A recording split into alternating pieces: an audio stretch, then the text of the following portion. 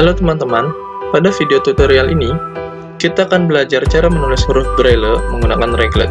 Tujuan video tutorial ini adalah Menulis dengan reglet harus menggunakan sistem cermin, maka pada saat menulis, Anda harus menomori titik-titik Braille dengan orientasi terbalik. Langkah-langkah dalam video ini dibuat dengan asumsi Anda tidak kidal. Letakkan reglet di atas meja di hadapan Anda dengan posisi horizontal. Plat yang berpetak-petak ada di atas, engsel reglet ada di sebelah kiri. Buka reglet tersebut, maka Anda akan mendapati paku pada keempat sudut plat bawah reglet.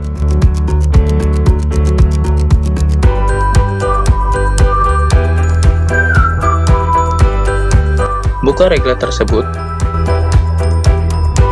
Letakkan kertas di atas plat bawah, dengan tepi kiri kertas menempel ke engsel, dan tepi atas kertas menempel ke paku atas.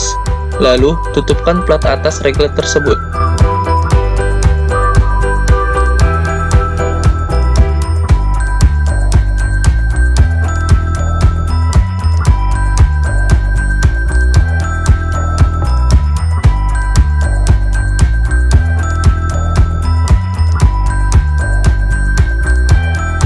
Pegang pen dengan tangan kanan, jari telunjuk ada di atas kepala pen, dan ujung telunjuk menyentuh batang pen.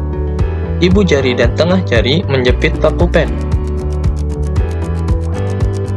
Mulailah menulis dari sebelah kanan. Pada saat menusuk, pen harus dalam kondisi tegak. Sementara tangan kanan menekan pen, ujung telunjuk tangan kiri berfungsi sebagai penuntun gerakan pen.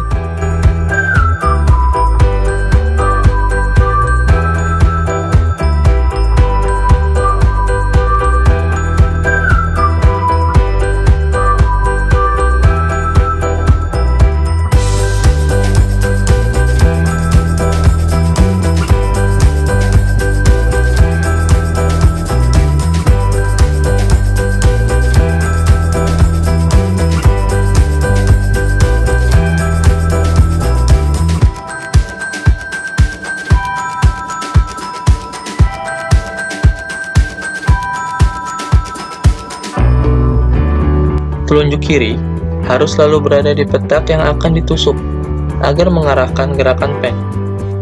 Ujung telunjuk kiri menempel ringan pada paku pen dan harus ikut bergerak terus ke sebelah kiri agar tidak tertusuk.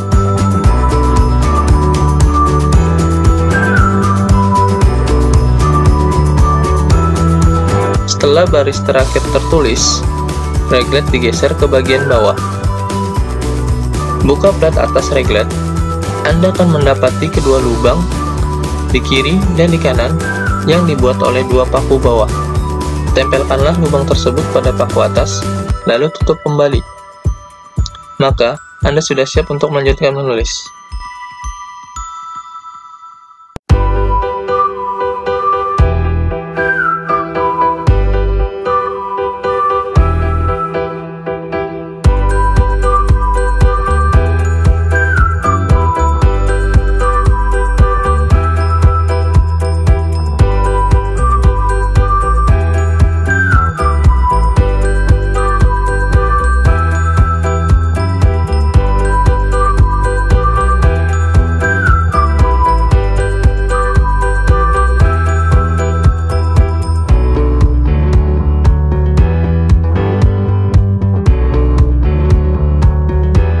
Setelah menulis selesai, buka reglet dan balikan kertas ke arah kiri.